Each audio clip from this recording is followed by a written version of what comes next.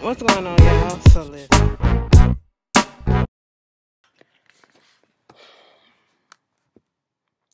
This episode, okay, hey, how y'all doing? I hope y'all had such a good weekend. I did too. You know, a whole bunch of stuff took us out this week. Oh, girl, listen, tonight was a tonight was a hell of a night for um episodes on this this this, this Sunday. Okay, okay. Power had us tripping with the end of that shit. All right, the Game of Thrones. Oh my god, Game of Thrones, bitch. I was gagging. I was fucking gagging like, oh my god. You know, the fact that the season finale is coming on next Sunday is bothering me.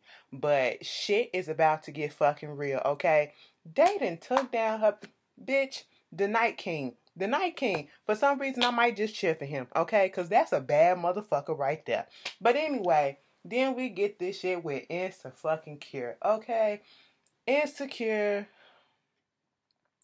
I'm so mad. I'm so glad that they are being renewed for season three, but I am so mad that still they couldn't get like 10 episodes. We still got the basic eight ass episodes.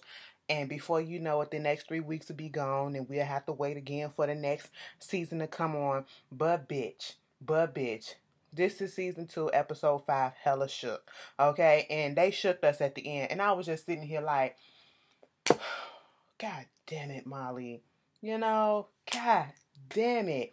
Okay, so you know, the episode, and God damn it, Issa, bitch. All right, the episode starts off with Issa going up to somebody's door and she's walking up these steps and it's a different location than what it was in first season if you can tell because you know the we didn't we just thought it was a random door until we heard the voice behind the door you know she was acting like she was delivering a package and he was like just put shit on the floor i was like but you have to sign for your package it's all this he was like look i got a gun i'll shoot your ass bitch, it's Issa. So you was really gonna shoot me? Listen, it was Daniel, okay? And I'm sitting here like, oh, new season, new location, cause y'all know Daniel had the little ranky dank house, okay, in the first season, in the first episode.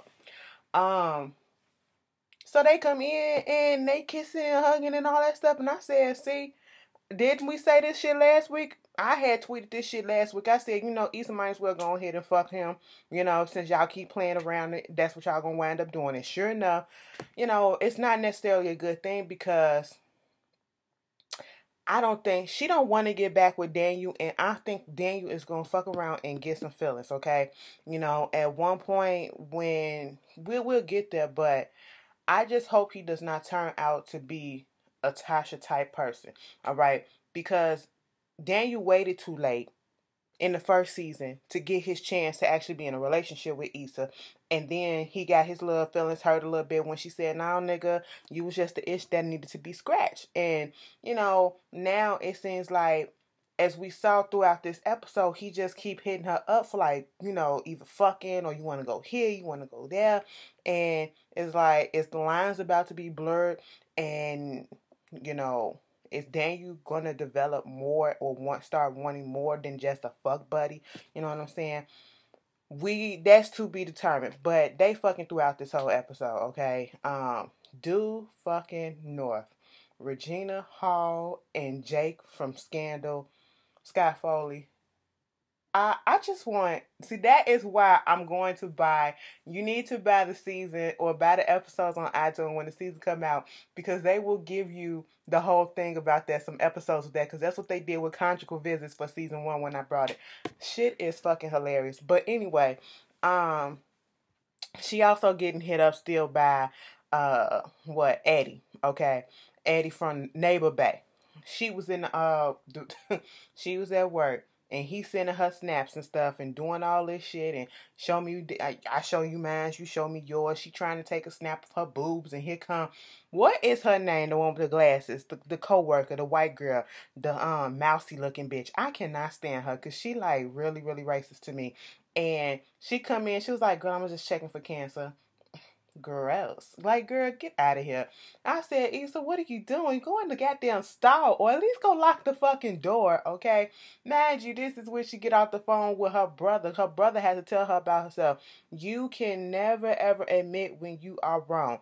Because in this whole meeting, she had a meeting. They was about to do this little retreat or whatever for We Got Y'all at her job. And um Patricia said, so we coming in on a Saturday for free, early. Mm. Okay. Patricia was me. Patricia was me. Let me tell you something. All them her co-workers ain't shit. The only ones that I can stomach and like actually is Issa and um Frieda. That's it. They the only ones that seem like they got some shit and actually want to do something to really help and not just do it to say that they're doing it. They doing it because they actually really want to.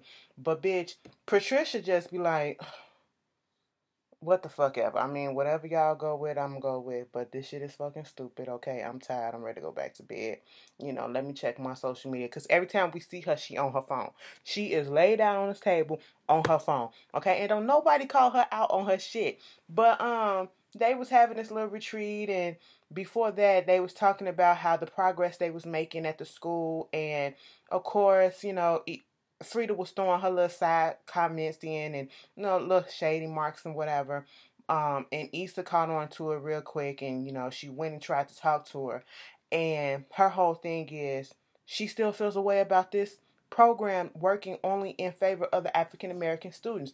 And to be quite honest, I am not, you know, some people feel like, you know, Frieda should just shut up and just let the shit go. And I honestly don't feel like she should because regardless of the skin color, whether she's a white woman complaining about it, she's seeing something that's not fucking right, okay? And like she said in previous episodes, if it was a white person doing what Mr. Gaines is doing, it every it'll be a big uproar. Then you'll really want to put that shit down in the thing. But it's like, oh, we gotta protect our own. So Issa's not gonna say nothing. She needs a win. You know, she's getting all this stuff in. They getting high marks and they getting high attendance now because he's bringing kids in, regardless of the fact that it's just black kids. And you know, she just wants it to be fair, and I understand that. Not all, you know, white people, other people are racist or think a certain way, and you know, she was trying to say that you don't have the right to tell a black person this or how to feel or some shit like that. And I was just sitting there listening to Issa like, oh, in this situation, what Frieda was saying was fucking right. That's fucked up what's going on and it should be mentioned. But I get Issa's side and I also get Frieda's side. And it's like, which side do you, you know, title between? And I can understand and I under and I get and Frieda has every fucking right to feel the way that she do. So I'm not upset with Frieda. Frieda said, "Bitch, you know, I just expected more from you." Bitch, let me tell you something. When somebody that you respect, somebody that you like, you fucking with, family, friend, or whatever, that y'all real fucking close, your mama, your daddy, and y'all got a good ass fucking relationship, bitch, and they all of a sudden hit you with that, I expected more from you. I'm a little disappointed. That shit cuts. I don't give a fuck what you say. That shit cut. Have you sitting there looking like you can call me a fucking bitch, but then you tell me some. I expected more from you. Okay. Okay. It cuts. It cuts. So, you know, Issa was sitting there stuck a little bit. And I guess, I don't know. I don't know how this is going to turn out. But I do hope their relationship get back on board. We saw when they came back for the little retreat or whatever. Um, Frieda didn't want to be her partner. She tried to be Patricia's partner, which meant Patricia had to actually do some work. Patricia was so fucking dark, but so fucking real what she said a little bit. She said, she was like, so, um, you know, the student dreams of doing this and doing that. What do you tell them? Dreams ain't real. That's eh, because if dreams was real, they would be reality. and They need to get up and give over. I said, wait a minute, Patricia. Patricia a little bit too real. She said, bitch, that's a little dark. She was like, that's fucking life. I said, okay, okay. You know, and Issa had to go with the Indian girl, and you know, she just stupid. But she one of those ones that, you know, want to fit into the fact that it almost seems like she acts as if she's not a person of color. Mm, so she just goes with the white people and that's how she acts at the job. But whatever. Um, so she has to deal with that whole thing. Y'all tell me whose side are you on or do you understand both sides with the Issa and Frieda situation? But moving on from that, we got Molly. Molly went to the Chicago office, okay, and she was um being, you know, shown around by Lil Rel and he was just asking I don't understand how you stay up in LA at that office. You know, he said being there is like the reason why he decided to go to Howard or HBCU and be surrounded by people that look like him. And she said that's the reason why Solange album, you know, a seat at the table was still being played constantly in her car because they be trying it, okay? And his whole thing is, why are you still there?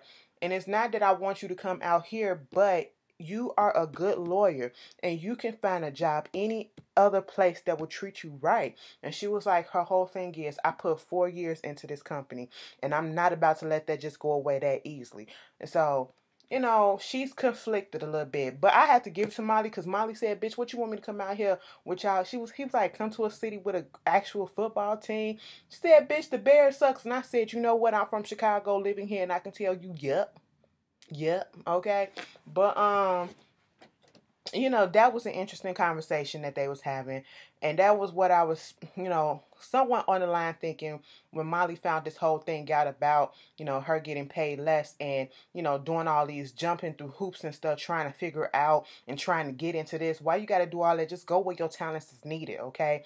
You know that's one thing that i was thinking. That was one option okay? If you're this good of a lawyer start putting in looking for somebody else that's going to treat you and um you know give you the demands or whatever it is that you know you're looking for if you really got that skills and stuff like that so her and Issa, you know, they she's finally back and they doing some flower arrangement for her mother's uh vow renewal and you know, she talked about something. She got this hotel in Morocco. It's French for palace. She said, bitch, I'm going to be at Motel C. Okay. And that's French for I'm broke as fuck. And I was like, I'll be right there with you. Okay. But you know, they just trying to get back into the groove of things and um, celebrating her parents' uh, vow renewal. Then talking about Issa going on a date. She got another little date. She said she got another one to put in her rotation, okay, because she got a little text from Daniel. And it was like, who? Oh my God, so what y'all doing? It was like, no, we just friends that's fucking. That's it. It was like, you sure about that? Hell yeah, I know how to just keep it that way. I don't want nothing more.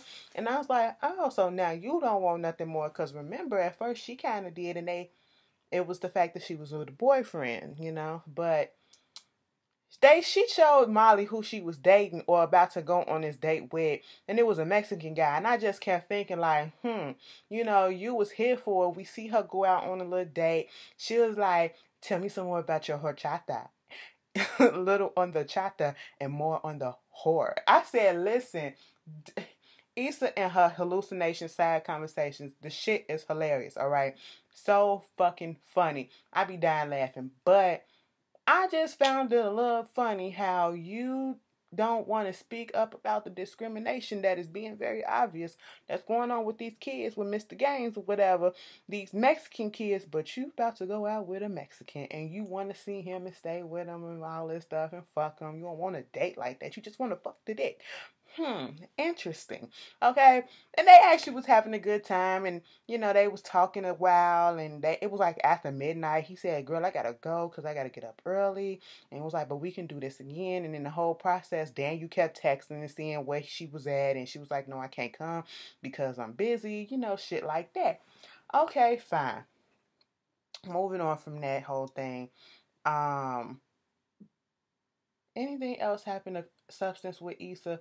Issa winds up getting her ass in a fucking car accident, okay? Issa was on the fucking street at a red light behind this car, texting, you know, somebody who that was potential bait. Okay, so she was on a little app, and she was like, "Yeah, I thought your profile was cute too." He was like, "Let me show you another picture." All right, and next thing you know, it was a dick pic. Like it was a full ass dick pic, and I said, "Bitch, I really didn't need to see this."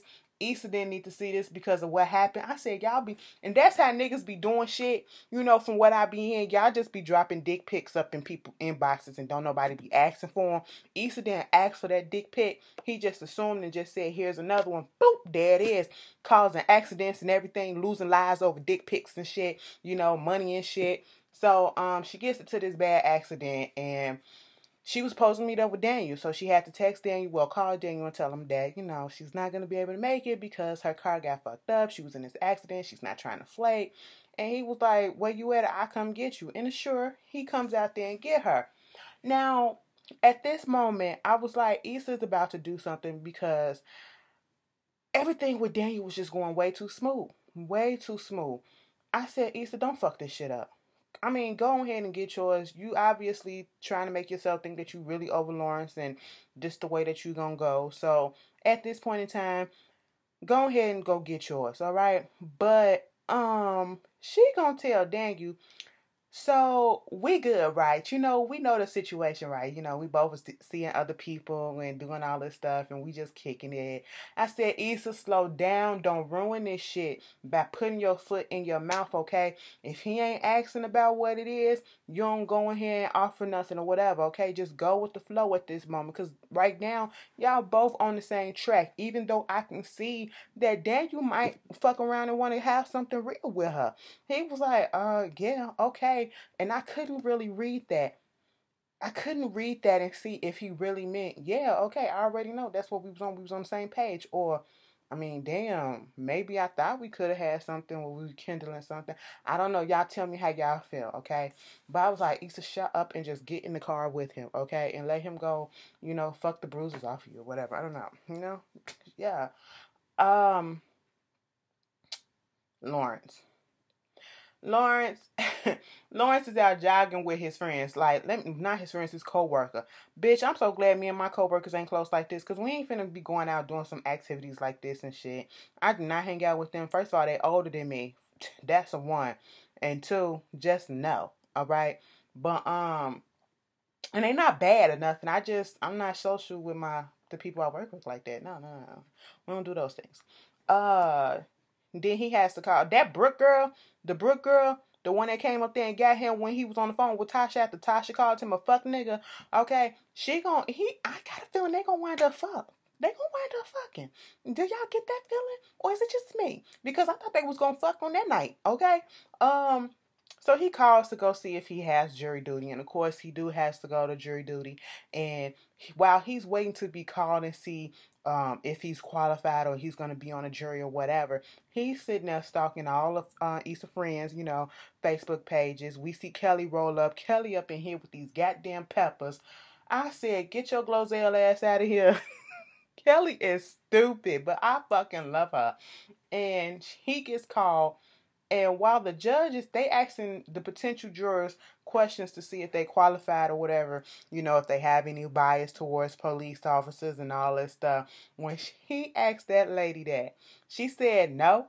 And she stood up and she opened up her shirt, but this, and it said Black Lives Matter. The judge said, "Nice try, sit your ass down." But um, you know, what's his name? Lawrence got dismissed. And the whole time he was sitting there on whose page on Facebook? Daniels. I was like, oh, oh. So Lawrence is sitting here. He at one point he was at home looking at his shit too. Okay. I said, oh, so now you Facebook stalking and you social media stalking Daniel. Okay. Just like Issa was social media stalking Tasha. Oh, now the roles have reversed, okay? Dang, um, Lawrence I don't know what stage of grief or whatever this is in a relationship when you break up because I never been in that stage. Um, because once I'm done, I'm done, you know, and, and if it's like that, that means it really wants shit to me. But, um, so it really wants shit to me. So when you see shit like this, I'm sitting here like, damn, um, um, Lawrence, what's going on? You want that boo thing back? So he talking to Derek, okay? He's sitting down talking to Derek, saying, "Man, damn, I gotta think. Eh, you know, he she's still fucking with this nigga or whatever. Like it's making me think all this time while I'm trying to get my shit together, and I'm up in here doing all this stuff with her. I'm thinking we together and we doing this shit together, but she over here fucking with this nigga and all this shit. What if Tiffany would have every y'all notice that every time." When Tiffany is questioned about Derek, she shuts it down real quick. But you went that uh, episode in season one when they was talking about um, when they found out that what's his name? Oh my, Jared. Jared was bas when he wasn't bisexual. He had got his dick sucked by his friend when they was high and drunk, and he didn't like it. And Molly told him. And then um, they was talking about whether men can be gay or bisexual or some shit like that. And then they was asking Tiffany, so what if Derek was? And she was like, no.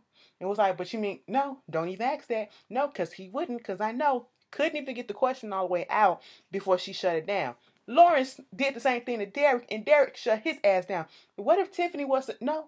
It ain't gonna happen. So no. I said, oh, okay, this is the type of shit that y'all got going on. But yet you was out the house for half of the year, living in a hotel. What was that about?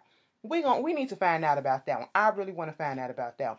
But you know, Lawrence was getting all up in his feelings about the whole thing. But Derek had to give him that real. I understand that Issa cheated, and I'm not finna take up for that fact, but I can see why that she went that route and you acting like you a 100% victim but you're not. Bruh you was unemployed for two fucking years and you were doing nothing okay? You were bringing nothing to the table so i can see how she can you know find somebody else that's actually doing something and fall for that. I said come and give him that shit derek. He needs that dose of fucking reality. No it's not right that she cheated but look we can understand why, but it's still not right, you know. He had to sit there with that egg on his face, like, ain't that a bitch, you know? So, the last thing we're gonna talk about is fucking Molly. Molly goes home to, you know, her father and her mother's house where they grew up at. They're about to celebrate 35 years being together, being married, you know and she's taking flowers and things out the car. Dro pops up, you know, he's in town, he came back early and all this stuff. And, you know, they started talking about what happened at the club the night before. And she was like, you know, well, the, when they was at the kiss and grind. And she was like, you know, I'm pretty sure you was drunk. He was like, I want that drunk. So she's just saying, I just can't do that. You know, we just need to stay friends and all that shit because, you know, you're married and I respect that and shit like that. Okay, fine. So she getting there, she having this little conversation with her, we see her parents, uh, we see her two brothers, and I just love the fact that they actually incorporating, you know, family ties into this season. We see their parents, you know. In season one, if y'all did know, we saw Issa Mama in the episode where they was at the We Got Y'all thing, and it was the donor that she was talking to when she spotted Daniel. That was her mama, okay, her real mom in real life. Um, but we saw her brother now we see Molly's brothers and her mother and father and their little dynamic is real cute. Okay, arguing over juices. Daddy giving the baby girl the juice and not giving the boys the juice and all that shit. That was cute. And so when the actual event started, we get all the family members and friends coming in and all of a sudden Lionel was there. I said, bitch, where Lionel come from? Oh, Molly giving him a second chance. Okay. Um, that was cute. And he was all up outside and Dro looking like, hmm, who the fuck is this? And I said, Dro, get out your feelings. You got a wife, okay? You have a wife, cut that out. But you know, they was talking. He was like, Yeah, I grew up right across the street. We was good friends and all this shit. Dro parents come up there and everything. And I was like, Okay. So this is really a family affair, get together, reunion, bow renewal, whatever. Now Molly was out, everything was going good. Molly was out in the yard talking to some of her family members. It was like her great aunts or whatever. And you know, when you drunk, I don't even know if they was drunk, but I told y'all, old people will open up their mouth at the wrong time sometime. And she was out here talking about prior to that, her brother came up and was talking to her about, you know, Lionel and was like, why you with him? Because you know you're not really wanting to be with him. Why? And I said, are you really settling? Because Molly said, you know, he's a good dude, you know, and I'm trying to find something like mom. And if I want to go ahead and have what mom and dad have be together for like 35 plus years, you know, I need to just go ahead and jump on the ball. That's when our brother was like, What are you doing this for? You know, you really don't want to be with him. Why you basically settling, you know? And you really looking up to mom and dad as a relationship goal type of thing when they had their own issues, but he didn't expound on it. So they kind of just let that shit go. But then when she went over there to the aunts and stuff, one of the aunts gonna blurt out and say something. He was like, Yeah, we over here celebrating 35 years. 35 years? Hell, I didn't even think they was gonna make it five years after all the shit that he did to her, put her through and shit. You know, who was it? With that girl, that girl, so and so and so and so. I said, Ain't this about a bitch? Leave it to the old people. Did she have some liquor in her system? Cause them lips, them lips was loose as fuck. You know, and the other lady with the um blonde hair was trying to shut the shit down. Molly put two and two together, went in there confronted her father and was like, and her mom, you cheated on mom. Mama was like, it was a long time ago. We got through it, but you fucking stayed. And I said, mm-hmm, mm-hmm. And so she's in her feelings and she's upset at this point that she wants to leave. All right.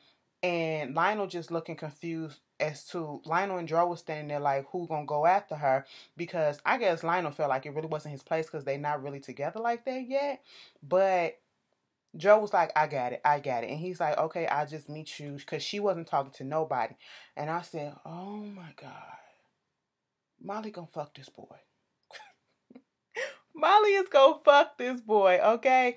And you know, they in the car talking about the whole thing and and he's very apologetic and trying to be that person, like trying to be her friend, but you know that friend that wanna fuck, you know? And I said, please, Molly, do not use this as a reason to give in to temptation.